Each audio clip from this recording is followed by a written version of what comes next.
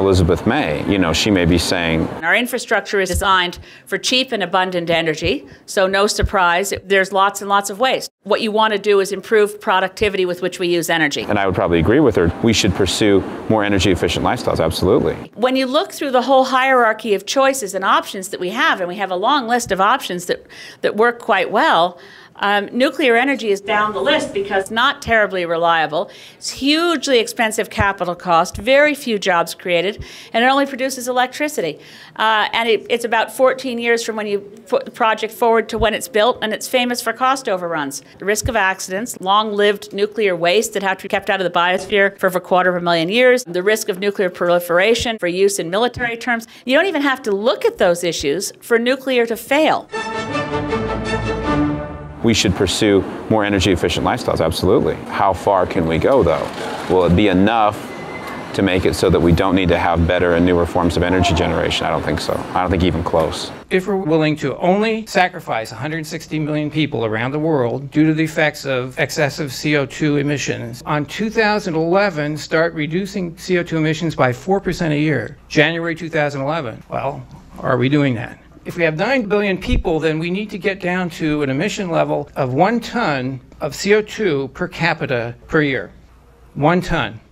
That's 100 gallons of gasoline. Population is the 800 pound gorilla in the room that nobody wants to talk about. 2.3 births per woman, the stable or decreasing populations. If we could bring countries to that level of prosperity, $7,500 begin to solve our population problem. Prosperity is related to energy. If we can bring people to about 2,000 kilowatt hours per year of electrical energy, they have a chance at achieving prosperity. Prosperity depends upon the rule of law, good government, property rights, education. But electric power is a critical element of prosperity today. Developing countries know this. Energy and coal use is growing rapidly in all the developing countries. They want to achieve that level of prosperity, and they're being supported by Peabody Coal. Ozone and particulates from coal burning power plants kill 60,000 Americans a year.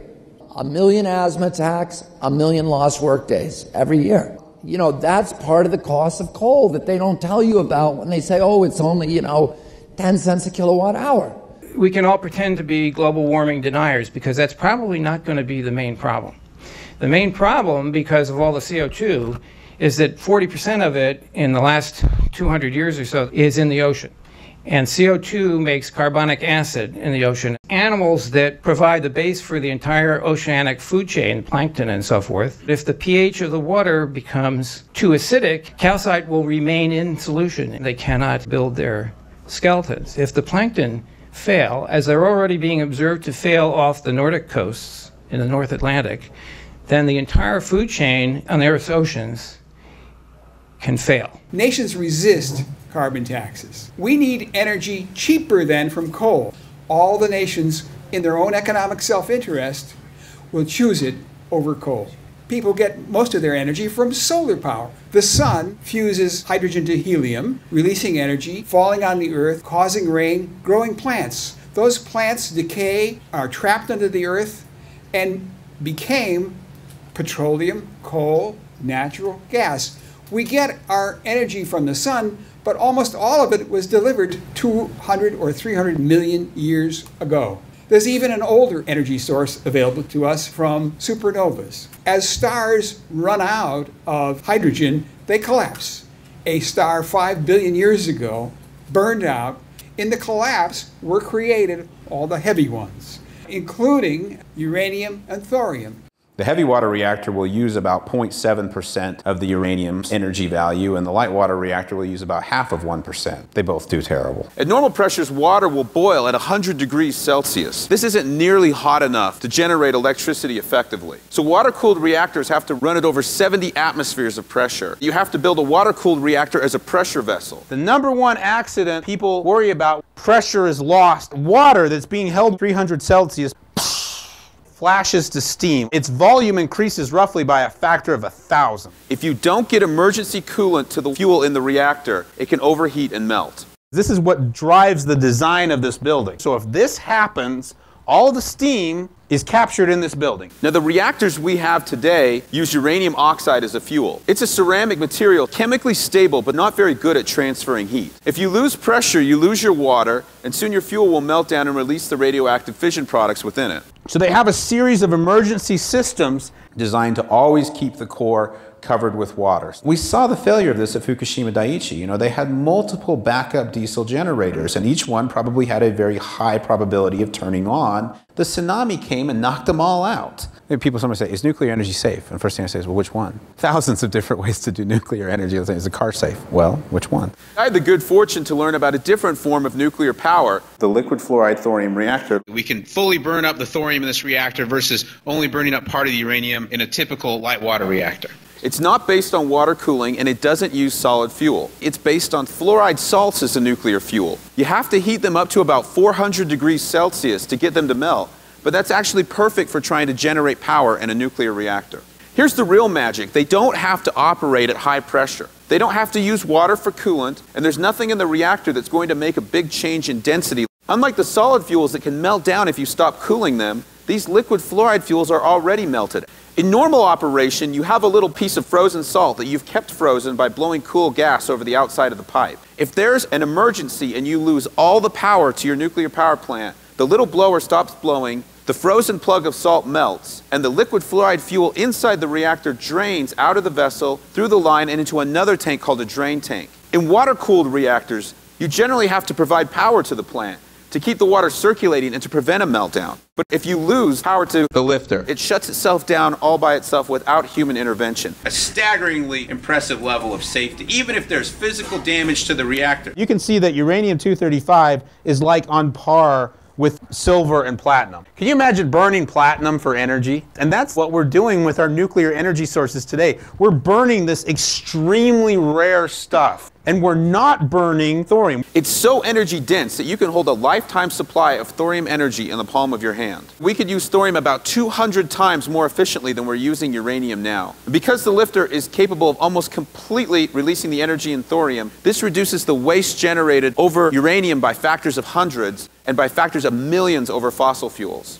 We're still going to need liquid fuels for vehicles and machinery, but we could generate these liquid fuels from the carbon dioxide in the atmosphere and from water, much like nature does. We could generate hydrogen by splitting water and combining it with carbon harvested from CO2 in the atmosphere, making fuels like methanol, ammonia, and dimethyl ether, which could be a direct replacement for diesel fuels. Imagine carbon neutral gasoline and diesel, sustainable and self produced. Older folks like me will recall a day when Earphones didn't look like that. The whole trick has been the invention of a little magnet based on neodymium, neodymium iron boron magnets. Extremely powerful magnets, and they use a rare earth mineral called neodymium. One of the places they find application is in the generators that sit on top of windmills. Because if you're going to put a generator on a windmill, you want it to be as lightweight as possible. Global demand for neodymium has gone. Currently, it's all being mined in China. Now, why am I talking about neodymium? Well, because thorium is always found with heavy rare earth elements. If you remember your periodic table, the lanthanides, that column above the actinides, those are all the rare earths. Thorium policy in all Western nations undermines a successful development of a domestic rare earth market. All of the rare earths that most Western mining companies are willing to process are what they call bastnasites or carbonatites. They select these rare earths because of the absence of thorium. The only operating rare earth mine that just opened up this year produces essentially the, the lighter half of the lanthanide scale and in fact does have some monazites which are a thorium rare earth enriched mineralization which they dispose of. If Toyota really wants to build a, a million battery packs in the end, uh, if they don't find a solution to the heavy rare earth problem, They'll be building them inside China. First, China provided rare earth elements very cheaply to everybody in the world by their cheap labor, lack of enforceable environmental regulation, and their appreciated currency. Essentially, consolidate, control the rare earth market. And then they said, well, you know, now all of you are coming to our door to buy our rare earths. We don't want to sell the raw material anymore. Our manufacturers can buy it cheaper than your manufacturers they imposed a huge export tax on rare earth elements, and so one had a choice to accept a huge tax and increase in the price of the product, or to relocate factory into mainland China and buy rare earth elements on a local market without tax. It's a strategy, it, it, and it's working pretty well. Manufacturers which use rare earth elements in their products located their manufacturing base inside China. The jobs in manufacturing transferred into Chinese mainland. They've moved all the way up the value chain and are actually able to leverage their position into capturing other countries' IP. Almost every known way to extract rare earths from their mineral concentrates means that thorium just literally drops out like a rock and you have it. So while you're meeting the world's uh, rare earth demands, the thorium is free.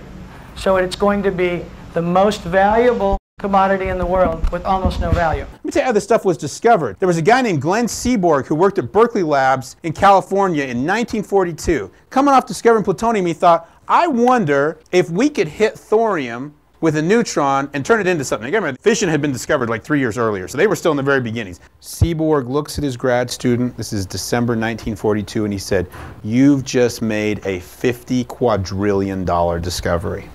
Grad student's like, ah. Seaborg was absolutely right. He knew how abundant thorium was in the crust of the earth, and he realized that through this process, you could catalyze the burning of thorium indefinitely. Why do we care? Well, here, oh, darn, here's why we care. There we go. Every kilogram of fissile material will produce as much energy as 13,000 barrels of oil. Nuclear fission is a million times more energy dense than a chemical reaction. Thorium was just set aside. They, by and large, said, we're going to go the plutonium route. And one of the reasons why was they had developed a great deal of understanding about plutonium from the weapons program. They had made the stuff, they had worked with its chemistry, they'd made fuel out of it. They go, we get this. Thorium, we haven't really messed with thorium. You know, it would be like starting over. But he did make one convert, Alvin Weinberg. Weinberg got it. He got the big picture. We need thorium, we need thermal reactor, we need liquid fuel. I see it. I see what we got to do. The Navy has built their nuclear submarines. But the Air Force wants to build a nuclear powered bomber. Now, Weinberg was a practical man, and he said, huh, that the purpose was unattainable, if not foolish, was not so important. a high temperature reactor could be useful for other purposes, even if it never propelled an airplane.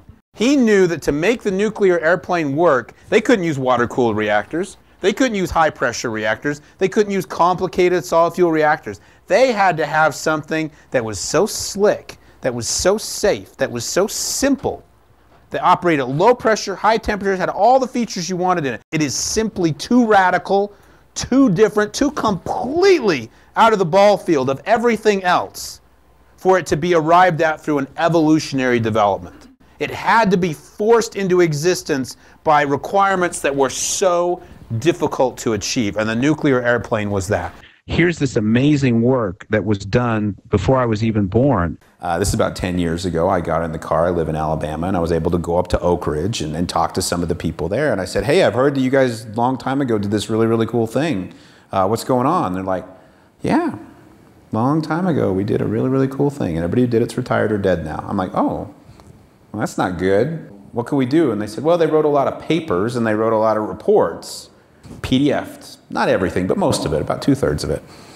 So I had this stack of CDs, and I thought, oh, sent a copy to the Secretary of Energy, sent a copy to the Director of National Labs, sent it all out to these different places, just sure that, you know, they were going to get CDs from a random person and change national policy. I mean, of course, right? China's doing LFTR, even as we speak. Where are they getting the blueprints? Are they developing enough? Well, I mean, they've they probably got a whole bunch of stuff the PDFs from my website. it's been in the public domain for an awful long time. I just made it a little easier to get, you know.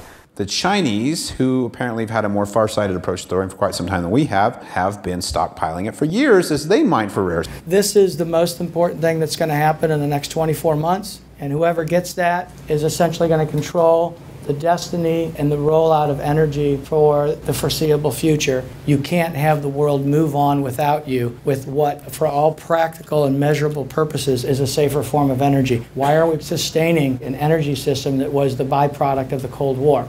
They need to be able to uh, realize the promise of thorium, but I'd also like to see us succeed, you know. I mean, we were working on this stuff a long time ago. We made great progress on it. We set it down in 1974 for kind of dumb reasons, and I think it's high time that we uh, we pick that thread back up again. We used 5 billion tons of coal, 31 billion barrels of oil, and 5 trillion cubic meters of natural gas, along with 65,000 tons of uranium to produce the world's energy. So I have a friend who's trying to start a rare earth mine in Missouri. Jim, how much thorium do you think you'll be pulling up a year? He goes, I think about 5,000 tons. 5,000 tons of thorium would supply the planet with all of its energy for a year. And he goes, and there's like a zillion other places on Earth that are just like my mind. It's a nice mind, but it's not unique. While efficiency is worthy of being pursued, and we could probably all knock 25% of our energy consumption out, that's not nearly enough to eliminate the need for fossil fuels. I mean, to eliminate these fossil fuels, we would probably have to knock out 90 to 95% of our energy consumption. And when you're cutting that far, now you're cutting really into the bone. And you don't see wind and solar as. We have been trying to put solar and wind online for decades. It is still on the order of about 1% of total energy production in the United States. Wind is quoted in terms of its capacity. Like you'll say, this is a 3 megawatt windmill. If I have a 3,000 megawatt nuclear plant, a thousand of these windmills are equivalent to one of these. The wind is only blowing about 15% of the time, one out of six. That correlation becomes absolutely meaningless now because one is running all the time and the other one is only running one out of six times. If you had a car and you thought, I'm going to go out and get in my car and turn the ignition, and I have a one in six chance the car is going to turn on, how useful would that car be to you? The wind industry says, that's okay, Chelsea. You need to have six cars. You want reliability. And we need the exact same thing in energy. Energy is all about reliability. Can we address those concerns by using batteries, which are making great advances with doing nothing more than a laptop? It's a very, very expensive proposition to use battery backup for the grid. It has not ever been able to be accomplished on a grid level before because of how much it costs to store a watt hour in a battery. This is a, a very valuable piece of equipment and it has a relatively low power consumption. And a lithium ion battery is perfectly appropriate for something like this, but not for the grid. You're not even looking at lithium ion, you're looking at cheap batteries. You know, you're looking at like lead acid, I mean, really cheap batteries because you're gonna need a lot of them. It's better to get a bunch of lousy ones than to get a few really good ones. Generating here, no, it's generating here, and basically we're intermittent power from multiple sources. And that is another another fantasy. You know, the idea that we are going to run all of these mostly redundant power transmission lines around. If you want to make a power transmission line, if you want to make the economic case pay off for it, you have to show how electricity is going to be thrown through that line almost all the time. Otherwise, it's not worth building. It costs too much money. So the idea that okay, there's going to be a wind farm here, and there's going to be a solar array here, and there's going to be a wind farm over here, and you know one of these three at any time will be working, but we'll have power transmission lines to all of them. I mean, that's just nonsensical. People who propose that haven't run the numbers. People don't want to see power plants, power transmission lines. They will fight tooth and nail against power transmission lines. We need to have a reliable energy source that is close to where the energy is needing to be consumed. We have a three-year environmental assessment process in Canada to build a nuclear reactor, and we have a weekend produce a coal plant. Coal and gas plants are able to release radioactive materials to the environment in much greater amounts than a nuclear plant would ever possibly be allowed to because they are considered uh, what's called NORM, naturally occurring radioactive materials. For instance, when you go frack a shale and you pull gas out, a lot of radon comes out with that too. You burn the gas, that radon's being released. Nobody counts that radon against the gas. If they did, the regulatory commission would shut the gas plant down. Same with coal. Coal contains small amounts of uranium and thorium. They go up the stack, they're dispersed. Why they can't tell you how much waste they produce. Yeah, and they've spent a lot of money to make sure that regulatory agencies do not regulate NORM. Even if linear no threshold was actually true, let's say for a minute it was true, this was the reality of the world, mm-hmm. you would still be much better off establishing an entire world powered by nuclear power. And the reason why is because of the radioactive releases from coal you would want to shut down coal so you could have nuclear, because coal releases more radiation than nuclear by several orders of magnitude. The notion there's no safe amount of radiation, that is not a substantiated or even an accurate statement. A sunburn is radiation damage. That's radiation burn. We don't call it that, but that's what it is. Your body is responding, trying to prevent further uh, radiation damage, ionizing radiation to your skin and your cells, and it's generating melanin, which is a natural shielding mechanism. You don't want to let anybody get too much radiation dose at any one time, and the radioactivity that we get from nuclear reactors is extremely small in comparison to the radioactivity we're getting from other sources. Biggest one being radon. You know, there's a radioactive gas that's coming out of the ground all the time, and you're breathing it right now. It is responsible by far for the majority of the radioactivity that your body receives. You know, It's just the planet we live on.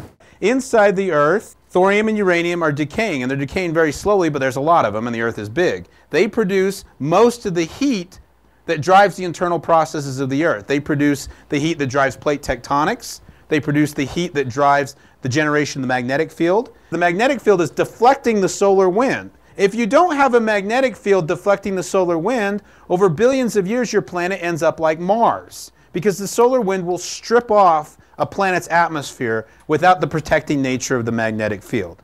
So if we didn't have the energy from thorium inside the Earth, we would be on a dead planet. Fun thing I tell people, I say, what's green energy? And they go, geothermal's green energy. Do you know where geothermal comes from? No. It comes from decay of thorium inside the Earth. Is geothermal renewable? Yes. Okay, then thorium's renewable. No, it's not. You're using it up. Well, you're using up thorium as it decays inside the Earth, too. So any argument for geothermal, if it is rigorously pursued, is an argument for the renewability of thorium as an energy resource. You can say, dude, it's green energy. What? If you're concerned with the environment, then you want to be aware of what the power density of any source is. Anybody who's trying to sell you biofuels or this kind of thing, what do you do about the thermodynamic inefficiency of combustion engines? Fuels that you burn is down in here. Whenever we burn something, we're using a very inefficient process. Thermodynamics typically gives us about 30% of the energy when we burn fuel. So every time you put a dollar's worth of gas in your car, kiss 60 cents goodbye because it's going to go out the exhaust pipe as heat. And we waste 10% of what's generated in transmission lines. So whenever they talk about these remote solar farms or remote wind farms or anything, you have a debt of 10% that you're paying from now on forever. You're never going to get that energy back. 5 megawatt top of the line Siemens windmill takes 10 acres. Now, 5 megawatts per 10 acres, that's half a megawatt per acre. If you move up to fission, you've got hundreds of thousands more watts per square foot, per acre, per pound, whatever. And if you move up to fusion, you get another 10,000 times that. Fusion, we don't have to wait for because fission is good enough for us, particularly with the thorium cycle. A nuclear article will be written. Author of the article will go to me or Rod Adams or John Wheeler or somebody who's kind of known as a public advocate for nuclear. And then to go find the other side, Ed Lyman or Jim Riccio of Greenpeace or one of those other guys. Now contrast this with an article around solar or wind, and because I look for this all the time. I'm always trying to see is there another side in those articles? There's never another side. Such and such a company has announced they're going to put 50 megawatts of windmills in on this site you know, world rejoices. They've chewed up half the mountain to put the windmills up there. We're offering to buy back solar energy from people who produce it at 35 to 50 cents a kilowatt hour. I mean, that's obscene. But they're subsidizing technology until it gets more efficient. When all of those tariffs are reduced, the things that we're supposed to encourage and jumpstart an industry, the industry collapses. Solar industry in Germany and in Spain is an utter collapse because of the, remo- the projected removal of feed-in tariffs because these are simply not economical sources of energy. The subsidy may be well intentioned, to try to get the industry to get going on its own, but that's usually not the way things work. George Monbiot, who writes in The Guardian, he has recently come out very strongly in support of nuclear power because of what happened to Fukushima Daiichi, how it survived the earthquake, and the overall effect has been nothing compared to the death and the loss of life from the tsunami. Well, he mentioned in an article he wrote yesterday that he talked to Caroline Lucas, the head of the Green Party in the UK, and he asked her why she would support subsidies on solar and wind. She goes, I oppose subsidies for nuclear, but I support them solar and wind because nuclear is an established industry and solar and wind are still developing industries and they need public support in order to flourish. And so George, being a very smart guy, said, Well, Will you support research into thorium reactors, which could provide a much safer and cheaper means of producing nuclear power? No, because thorium reactors are not a proven technology. on the individual level, we are seeing a lot of people change their minds. But at the organizational level, we're not seeing any change. You know, the people who run the environmentalist organizations. And that's unfortunate. It's tough for people who are further up the food chain in these organizations to come out and make public policy statements. A lot of people get it one on one, but they're afraid to be the first one to stand up and say, rah, rah, rah, let's go do this. It's a lot easier when you feel like everybody else is behind you. Well, pretty soon you'll be gone and there'll be somebody in who will think about nuclear. Why are appeals to technological advancements always made with regards to solar and wind? It's going to get better. It's going to get cheaper. It's going to get more efficient.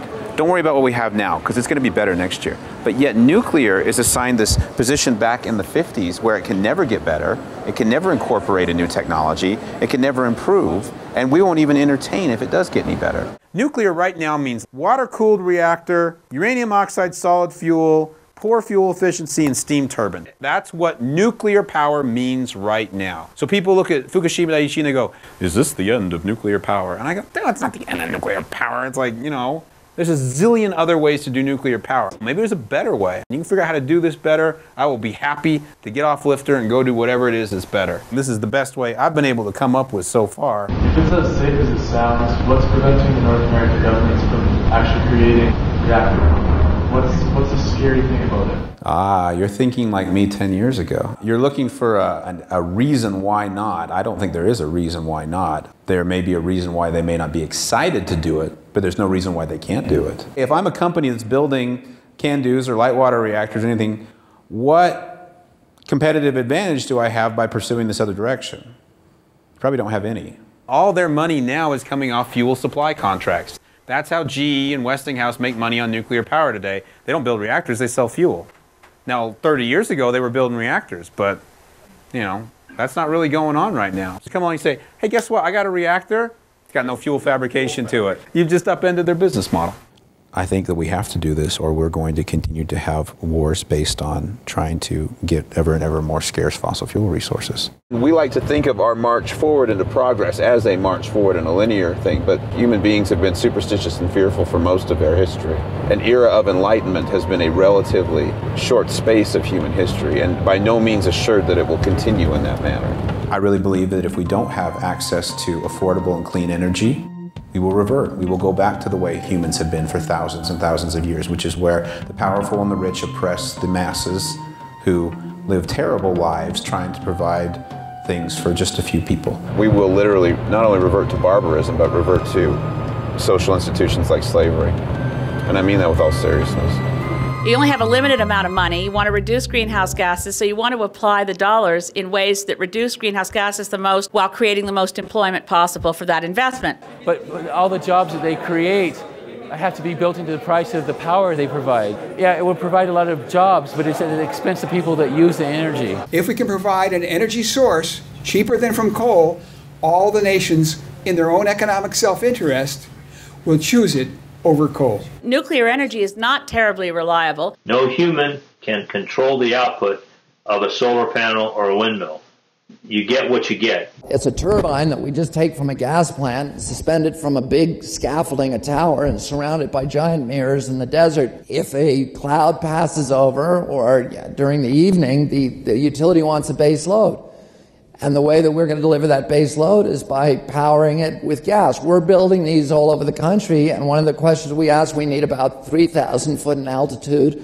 We need flat land, we need 300 days of sunlight, and we need to be near a gas pipe. Hugely expensive capital cost. Here are four independent proposals to build molten salt reactors and their dates. And the median is $1.98. Boeing makes a $200 million item every day. Producing reactors has a lot of the same quality control issues strength of materials, corrosion, quality, documentation, regulation, life safety, all those things that we also worry about. Now, one of the parts with gas is it's rather inexpensive to build the plant. The fuel is most of the expense. So, you look at a LFTR for one to two dollars a watt, you're looking at a full cost there because the fuel cost is so close to zero that you can safely ignore it nuclear energy only produces electricity. Now, all our reactors today use steam turbines. They're based on boiling water, running a steam turbine, and then condensing that water. That's why we have big cooling towers. That's why we have to place our reactors by rivers or lakes, is because we use a steam turbine power conversion system. Now, we don't use that because we're stupid. We use it because the limitations of pressurized water mean that you can't get the you can't get it all that hot. I mean, the reactor just doesn't get that hot. With this reactor, we can get up to more like 7 or 800 C. And at those temperatures, the gas turbine turns out to be a better fit. And you can get about 50% conversion efficiency with the gas turbine. So you can generate electricity from the gas turbine and you've got to cool the gas. You know, every thermodynamic cycle has to reject waste heat. If you're near a coastal body, you can take seawater in and you can desalinate it. So even the waste heat from the system doesn't have to be wasted. Well, why aren't we desalinating seawater today? Well, some places we are, but usually it's because it's really expensive. We're burning fossil fuels, desalinate seawater. That's not a good idea. In this case, almost no economic penalty to desalinate seawater. Or you can configure it not to produce electricity, but to dissociate water You can make ammonia out of hydrogen, which can be a fuel. It's also a fertilizer. Ammonia production that consumes more than 1% of the entire world energy budget today. It's about 14 years from when you put the project forward to when it's built, and it's famous for cost overruns. May of 1961, Congress funded Camp Century in Greenland. The assembly is still subcritical. We began to transfer the fuel elements one by one and started loading the reactor core. The reactor was operating under the ice 18 months later. Here's the AP1000 being built in China, the containment around it. And if you can see a little red man, he's about the same size as the Fireball reactor. The scale is just massively different. And the Brayton cycle uses an inert gas. If you don't have to worry about steam explosions. You get more efficiency out of the turbine side, and the turbines are smaller and cheaper to build the risk of accidents. We can achieve safety for less cost because we're moving to passive safety rather than engineered safety. And we see right. this trend with reactors, say like AP1000, but the LFTR can take it to a much higher level. Commercial nuclear energy around the world has a very good safety record. Even if you include Chernobyl, the number of deaths from nuclear power plant accidents is less than 100 around the world ever. Just last year, we had a natural gas explosion at a Kleen Energy facility in Middletown, Connecticut that killed seven people. Coal dust and methane explosion at the Upper Big Branch coal mine, which killed 29 people. Methane explosion in Deepwater Horizon that killed 11 people. San Bruno fire, which was a natural gas pipeline running underneath a neighborhood. It blew up and killed about eight people and destroyed 50 homes.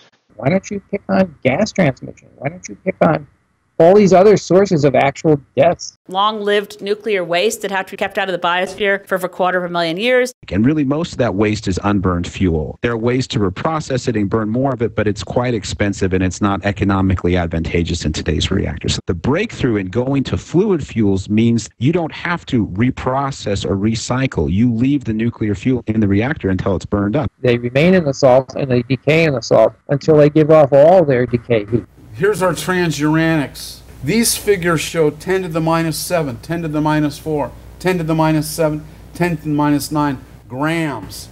This is teeny, teeny production. A thousandth of a gram of these dreaded materials, 10 years of operation. This is good. Waste profile, much healthier. The risk of nuclear proliferation. The proliferation hardening on this one, U-232. We've got protactinium. It sends out a bright gamma cascade. So if somebody's tried to run off with it, we can catch them pretty easily. You don't even have to look at those issues for nuclear to fail. The petrochemical industry, the hydrocarbon industry, spends an awful lot of money advertising. They believe in wind and the sun, and Exxon is talking about growing algae, you know, all kinds of alternatives. You'll never hear a hydrocarbon company talking about nuclear. You'll see an awful lot of stories, somebody in the gas or oil industry working against nuclear and and trying to raise the barriers of entry. That's a simulated nuclear fuel pellet. It's as much energy as a ton of coal, 147 gallons of oil, or 17,000 cubic feet of natural gas. How can the hydrocarbon industry allow that to be used effectively on the marketplace? If you're making money selling hydrocarbons, you're going to make less money. Maybe I'll never see it happen in my life, but somebody will do it. Once people have learned how to do it, they'll keep using it because it will make that much difference. It yeah. looks so good to me. You know, world, what am I missing here? Tell me what I'm missing. And what I've found to my great gratification is other people who are a whole lot smarter than me have looked at it and said, this looks pretty darn good. Why aren't we doing this? We can be competitive with China on making patents on things that weren't thought of in the 50s and 60s. But if we wait, Americans, Canadians, Brazilians will be buying LFTR and molten salt technology from China and paying them the royalties. We buy a lot of things from China already. You know, I mean, it's not as if we're not buying enough things from China. We are definitely keeping them busy. So let you know, let's let's go develop thorium and and not fight over limited resources if we don't do it, it will still be happening. It will just be happening in a place like China. We will be seeing LFTRs built in the future, make no mistake. A lot of environmentalists are always trying to drive us towards using less energy because all that energy is coming from the consumption of fossil fuel. Well, let's say your energy is not coming from the consumption of fossil fuel. Then you could use more energy and you could use more energy to accomplish things that you are not able to do right now. Break up carbon dioxide, dissociate water, make fertilizer, grow crops, all that. So much energy, an abundance of energy that it would drive the price down to the point where the only oil we'd be taking out of the ground would be the easy to get to oil, and there's not going to be any more environmental devastation than there already is. If we didn't have to worry about energy, we could think of so many more things to do. If there was a lot of it and it was cheap and it was not harmful to the environment, what would you do that you're not doing now? The thing that caught my eye when I was still in high school was the idea of a space solar power satellites. Gerard O'Neill, the high frontier. Well, his idea was we were going to go build these colonies. It was going to be like living in a shopping mall in space, you know, and, and you know, have a little home in the tube. And uh, I don't think we're ready to live in space yet. We have not learned how to live in a way where we recycle much more of our. I mean, if you want to live in space, you got to recycle everything. With the energy generated from a liquid fluoride thorium reactor, we could recycle all of the air, water, and waste products within the lunar community. If it was such a great thing for a community on the moon, why not a community on the Earth? Self sustaining and energy independent. We live much better lives today because we have learned how to use carbon. Okay, what about thorium? Thorium has a million times the energy density of a carbon hydrogen bond. What could that mean for human civilization going out thousands, tens of thousands of years into the future? Because we're not going to run out of this stuff. Once we've learned how to use it at this kind of efficiency, we will never run out.